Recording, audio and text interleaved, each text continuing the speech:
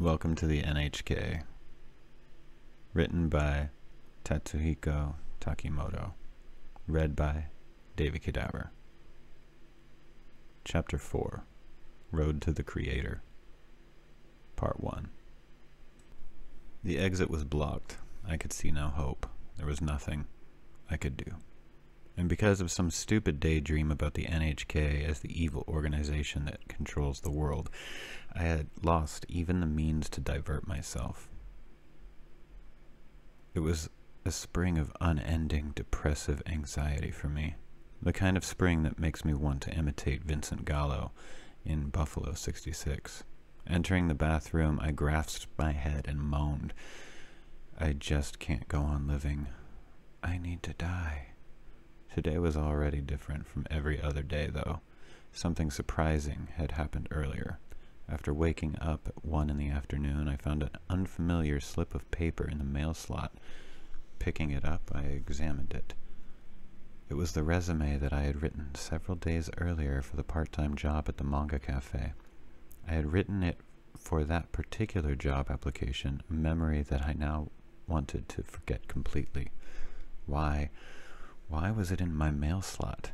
I hurried next door to Yamazaki's apartment. Yamazaki was taking the day off from school again. Seated at his computer, he was playing some sort of game. I asked, Did a religious solicitor come by my house today? Hmm, they came about two hours ago. I got some of those pamphlets. I just love the word for word translation. Why didn't they go to your apartment too, Sato?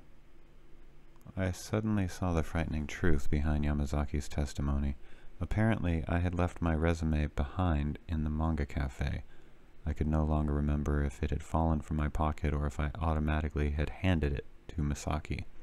Because of the massive shock, my memories of that moment were muddled. Only one thing was certain. While making her religious rounds, Misaki had gone out of her way to bring me the resume. In other words, when I had asked, do you like bikes? In my clumsy effort to conceal that I had indeed come to apply for a part time job, I had failed utterly. Realizing this, nothing at all seemed to matter anymore. When humans run into an extremely embarrassing circumstance, it seems their emotions go numb. Who cares? I whispered, heading to the trash can to throw away the paper. As I did, the back of the resume caught my eye. A message was written there in black ballpoint pen. You have been selected for my project. Please come to the Mita 4th District Park tonight at 9 o'clock. Huh?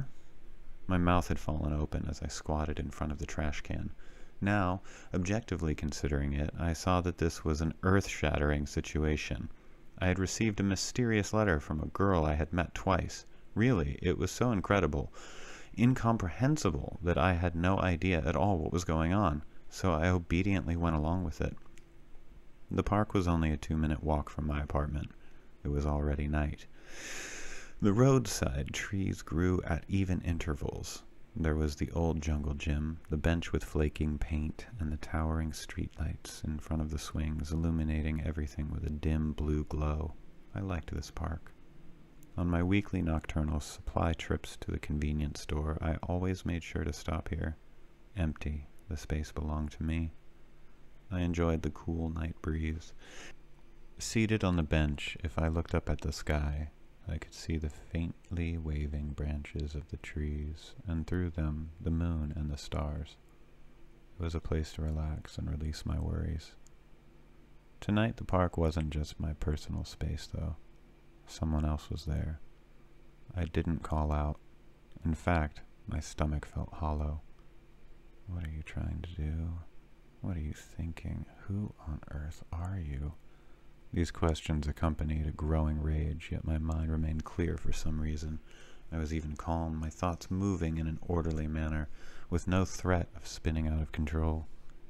This may have been a form of resignation. Perhaps I had finally accepted my current situation. It was wholly possible I had quietly admitted to myself that I was a hikikomori, a person with no future, someone who should just die. Yes, that had to be the explanation.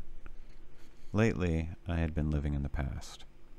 Every night, I dreamed of long ago, the hometown I yearn, yearned for, friends, family, things I hadn't liked, things that had made me happy, other various memories, fragments of all these things. My nightly dreams were gentle and melancholy. Indeed, the future had ceased to be a problem.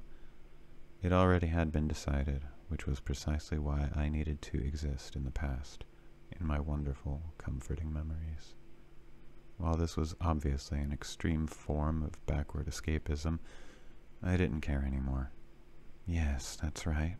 I am a Hikikomori, a worthless person with a weak spirit. Is that a problem? Just leave me alone and I'll disappear quietly. I'm fine. It's all over. No, no, no. I sat on the bench, head in hands. No what? The girl inquired. She was rocking in one of those swings near the bench. Her almost shoulder-length hair blew lightly in the wind. Tonight, too, she was dressed like an average teenage girl. No parasol, no pamphlets, and no discernible religious atmosphere. However, I forbade myself to let down my guard. More than anything about her, the very strangeness of the situation spoke vividly of how truly odd she was. I had to deal with her calmly, but with total caution. Right then and there, I decided to think of her as an ASIMO, the bipedal robot developed by Honda. If I did that, it would keep me on an even keel. Why not? Nowadays, robot technology is really coming along. No matter how I examine it, it looks exactly like a person.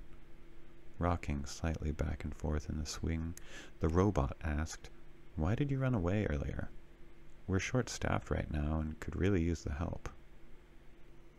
We would have decided to hire you right away.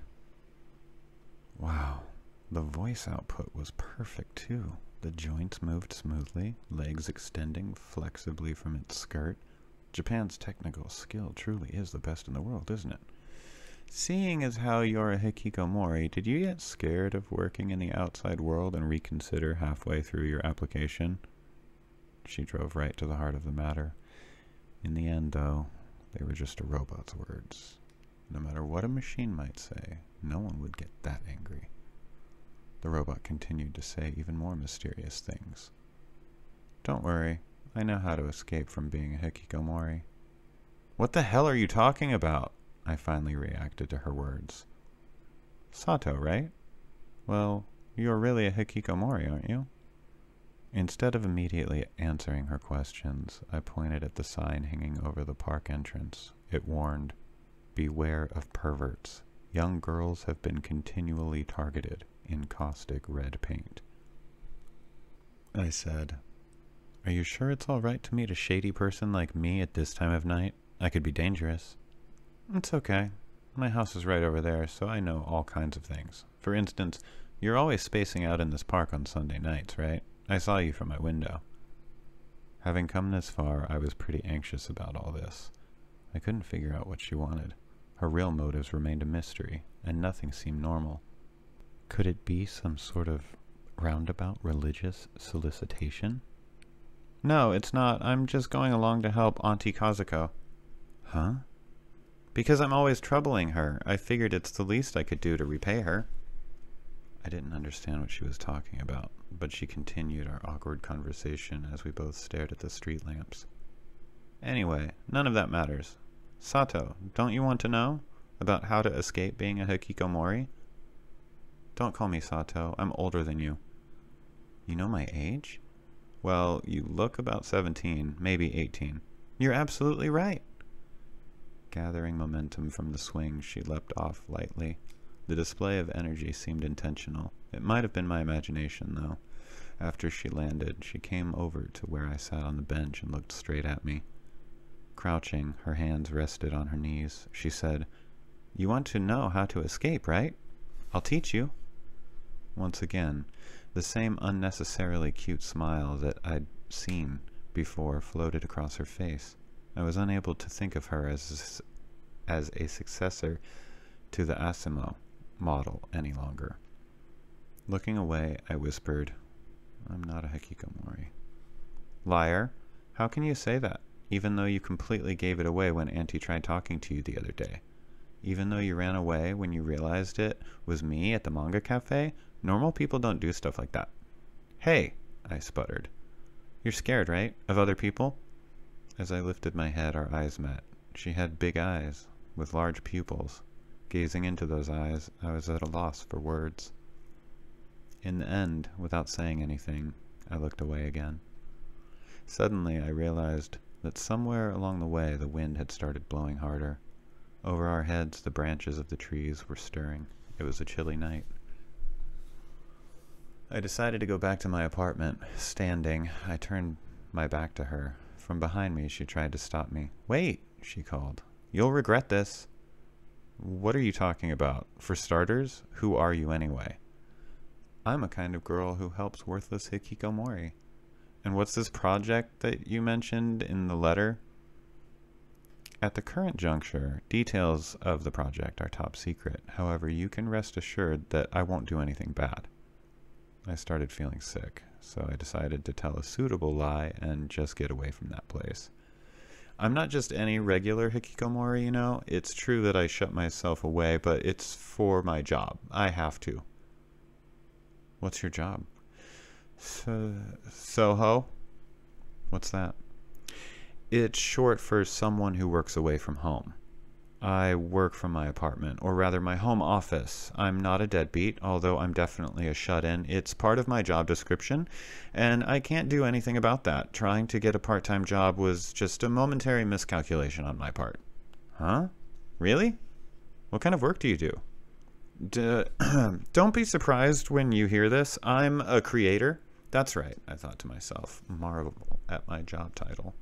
Because I do creative work, I may act a bit psychologically unusual, but that only proves my incredible talent. I'm not just some good for nothing jobless guy.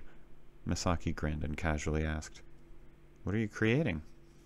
That is, you know, what do you call it? The latest revolutionary information technology. I can't really explain it all in one word. Well, let me know when you finished what you're currently working on, okay? No, no, I, I can't do that. It's privileged information that I can't divulge. Not to mention that we have tons of money invested in the project, so I can't just give it away so easily. Just as I had begun to wish for death due to the thorough stupidity of the lines I was giving her, Misaki turned away. It was a waste, huh? I did offer to show you how to escape after all. She really seemed to think this lost opportunity was unfortunate. In a low whisper, she said, Even though you'll never have this chance again. Only her outline was faintly visible against the backlighting provided by the street lamps. I was a little, no, fairly excited. My bad habit prompted me to keep gushing. It seems you doubt what I'm saying. I actually am a really amazing creator, though. A young girl like you probably wouldn't be aware of this, but I'm sort of well known within the industry. Yeah, when you see me next time, I'll tell you about it, um, about my work. You'll be really surprised. You'll respect me. Why did I say when I see you next time. What did I mean by my work? Why did I always broadcast these lies, all of which could be easily disproved? I could just be honest and say I'm a jobless hikikomori. Why was I indulging in this strange pride over such weird things? Whatever, it didn't matter. I should just run. I should just get out of there fast before I dug myself in any deeper. Well, well then, uh, see you. Uncertainly, I headed toward the park exit. Behind me, she might have muttered something, but I couldn't hear the words. Part 2 Back at my apartment building, I interrogated my neighbor. Yamazaki, how can one become a creator? Huh? What's all this all of a sudden? I have to become a creator right away. You're a student at the Yoyogi Animation Institute, aren't you? Don't you know a lot about that kind of stuff? No, well, I guess I do. Are you serious? I'm serious. I'm completely serious. Anything will do. Just tell me how I can become a creator right away, please? I'm hanging up. Come over. The shock of the situation had been enough to force me into calling my next door neighbor. It was the first phone call I'd made in months. When I see you next time, I'll tell you all about my work. Only a few minutes earlier, I actually had said this. I had inflated my chest with pride and preposterously said this aloud. When I see you next. I suspected this would not be far in the future. Misaki seemed to live nearby. I might even run across her in town completely by chance. By that time, I had to change my huge, incredibly stupid lie into reality. I needed to become a true creator. What was a creator anyway? What is it? Yamazaki, seated at his computer as usual, condensed my situation. In short, Sato, you told a horrible lie because you were trying to look good in front of a cute girl, and now you're flustered and trying to conceal the fact that you lied. Does that about sum it up? Blushing, I nodded. I don't care if you scorn me, Yamazaki. You already know my real identity as an unemployed Hikikomori dropout. There's no secret more embarrassing that you could possibly discover. Help me, Yamazaki. Oh, don't worry. I won't make fun of you or anything. Hmm. Yamazaki folded his arms and groaned deep in thought. I sat on the floor and meekly waited for him to speak. However, his next words made no sense whatsoever. To begin with, no matter how much a real girl looks down on you, does it really matter? Huh? Listen to me, Sato. Women, they aren't people. No, they're not normal humans. In fact, it might not be an exaggeration to say they're unbelievably close to being inhuman monsters. Therefore, there's no need for you to go out of your way like this. What does it matter if you're scorned by some female? His expression was as calm as usual. I abruptly became very uncomfortable. He continued those things don't have proper human hearts. They look human, but they're different creatures. Sato, it's best if you first understand this fact. Yamazaki. well, anyway, it's not really that big of a deal. No matter what the reason for your decision to become a creator, the idea is probably not half bad. It's fine. Let's think about this together. Rising from his computer desk, he sat down before me. His actions were infused with a bizarre confidence. Apparently, a four year span radically could change someone's personality. Yamazaki now seemed to be twisting in a dangerous emotional direction. However, at this point, that didn't matter at all. If it would help solve my problem, I'd bow down to a demon. No, no, there's no need to bow down to me. Let's let's start. Briefly, there are all different kinds of creators. Sato, what would you like to do? What? Like I said, I want to be a creator. There's no job called creator. Yamazaki's voice grew rough.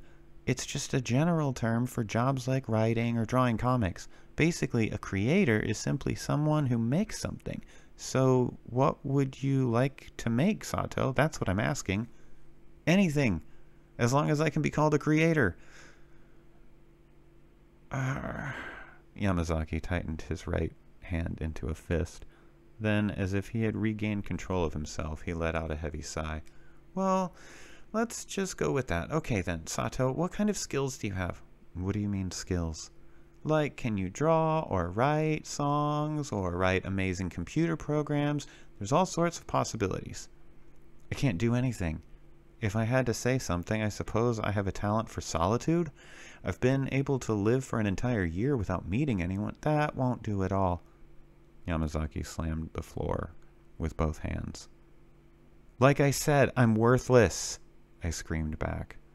Yamazaki stood and grilled me with greater force. There's no way someone with no skills easily could become a creator, is there? It's not right just to say whatever's easy for you all the time. Listen to me. You laughed when I told you that I was going to Yoyogi Animation Institute, didn't you, Sato? Oh, it's fine. No need to hide it. Still, it's clear that in terms of creative issues, I'm more accomplished than you are. Please understand this. As he'd been pretty convincing during his long diatribe, I nodded automatically several times. Suddenly, Yamazaki's body went limp. No, thinking of the idiots in my class, I got overexcited. People like them make me the maddest. People who are all talk. Huddling privately together, even though they can't do anything by themselves. It appeared I'd somehow irritated his issues with school life. I decided to make him drink some coffee to calm down. Salvaging an unused paper cup from the litter strewn across the floor, I poured water from the hot pot set up in the cabinet. Then, fishing farther under the bed, I discovered an economy sized pack of rice crackers. Eating the crackers, we drank coffee. Calmer, Yamazaki returned to the main topic. Well, then, let's think about it more concretely this time. Music takes a lot of skill and discriminating taste, so that's out of the question for you, Sato.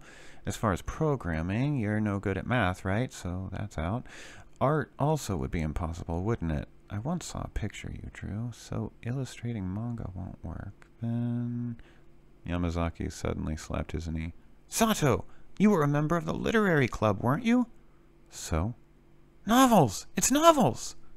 I twisted my face into a frown. No, I don't want to do that. I haven't written any long composition since they made me do it in middle school. For starters, novels are too boring. They won't work Yamazaki scowled at me again, breathing violently through his nose. He muttered quietly, Just get over it, won't you? I felt a light touch of fear and decided to change the subject. By the way, Yamazaki, what are you studying at school? Is it anime after all? Are you painting cels and stuff? Yamazaki shook his head. Even though the school is called the Yoyogi Animation Institute, there are many different departments. I'm in the game creation department. Game creation?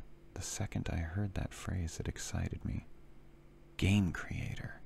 That had resonance. The title sounded so cutting edge. The glamour industry of the modern age. The number one job that elementary school students wanted. I pictured an industry giant driving around in a Lamborghini, being entertained at a high class club in Ginza. He had wads of cash flying around as he was wooed by headhunters hanging out amid the huge long lines for his latest super popular game. Then, some dreadful high school student would steal one of these in demand games from an elementary school kid, and the story would be picked up on the six o'clock news the game creator would be filthy rich. It was high paid salaried, with a yearly pay of 100 million yen. It was so cool. It was perfect. Finishing off my coffee in one gulp, I grabbed Yamazaki's hand. Let's try to be game creators together. It was already past 11 o'clock at night. Yamazaki was sipping his 10th cup of instant coffee, and I was so hungry that I made some instant ramen. Yamazaki grew angry. Don't just take someone's food without asking. I bowed my head in apology and put some pepper on the noodles. While I was slurping at the ramen, Yamazaki stammered, It would be impossible for beginners to make games. You have to help me with that. Modern games are a comprehensive art. A decent game can be created only by mixing various specialized skills. Someone like you couldn't do it, Sato. After not seeing you for a short while, you've started speaking really insolently, haven't you? Was what I felt like saying to give him a hard time. After thinking about it, however, I realized he'd actually been insolent for a long time. Yeah, that was true. Even though he'd been a weakling, he was the kind of guy who said whatever he wanted to whomever he wanted. He'd openly call his classmates idiots or tell them to go away. That's why he was picked on. It was totally his own fault. He'd spoken politely to me, but once he'd found out that I'd become an unemployed dropout hikikomori, it was only a matter of time before he started making fun, calling me worthless to my face. All that didn't matter, though. For now, I had to do whatever it took to become a game creator. I had to become an industry insider. Please, Yamazaki. I can see it's difficult for you to ask me for help. However, there are things that can't be done no matter how much you beg, Sato. Please do something to help me. For one thing, there's no way that something you started to earn a girl's respect could last for long. It's obvious that you'll lose your motivation soon. That's not true. I'm serious. I'm passionate. I have school tomorrow. I'm tired already. I'm not just wanting Masaki's respect. If I could become a game creator, I'd be able to escape my life as a Hikikomori, wouldn't I? It's impossible. No, it can't be, I insisted. It won't work. Yes, it will. I spent another hour pleading with him. I tried appeasing him, coaxing him, yelling at him, and finally I tried wheedling to get on his good side. While you're at school, I could tape the anime on TV. I'd even cut out the commercials for you. At last, Yamazaki gave in. Well, Sato, you seem to be really committed. His voice was serious. Yeah, I do mean it. I'm totally committed.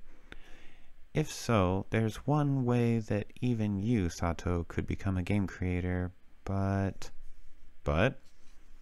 It may actually be the bloodiest path, an unending, severe, and painful method that would make anyone want to abandon the course, not to mention someone like you, Sato. Yamazaki's face was grave, and I gulped reflexively. My determination had already taken shape, though. I'll do it, no matter what. I'll do anything, I said. Is that really true? I nodded. Absolutely true? You can't just say, I'm done in the middle, okay? I made a show of nodding deeply again. Yamazaki made his eleventh cup of coffee, and I started slurping my second bowl of ramen. I understand, Sato. Let's talk. I'll tell you about my plan. Leaning forward, Yamazaki spoke conspiratorially. Today's games are made on an incredibly large scale. A huge amount of data and precision programming are necessary, so novices like us can't do anything. Even making a game around the level of the outdated Super Nintendo would be a trial at best, and even if you managed something like that, you still couldn't possibly call yourself a game creator. Then Yamazaki quickly cut me off. Just listen to me, all right? We have no budget, no friends in the industry, and nothing beyond the most limited resources. Even in our humble situation, there's still a way.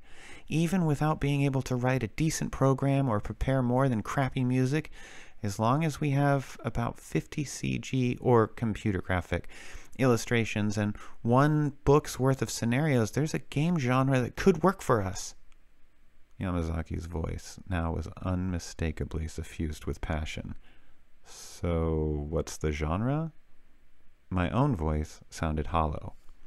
As far as programming goes, as long as we get a free use game engine, we'll be fine. Let's just take the soundtrack off a copyright free music CD, too. I'll draw the CG, Sato, and you write the scenarios. Scenarios? oh, that should be easy as long as I just had to write something appropriate, like, say, the hero has to rescue a princess who was kidnapped by villains. Okay, I said. I'll write as many game scenarios as you want. What's the genre? You'll do it, Sato! Yamazaki patted me on the shoulders. Yeah, let's do it, Yamazaki. Let's make a game together. So, like I was asking, what's the genre? As long as the CG and scenarios are good, we can become totally famous. It might not even be that hard to become pros in the future. If we make some money with a self published project, we could even start a company. A company? That would be amazing, Yamazaki.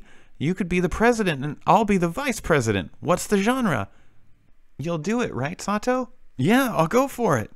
If we go this far, there's no turning back. How many times do I have to say it? Well, then let's shake on it. Together, we can run toward tomorrow. Yamazaki took my hand and grasped it firmly. We're kindred spirits.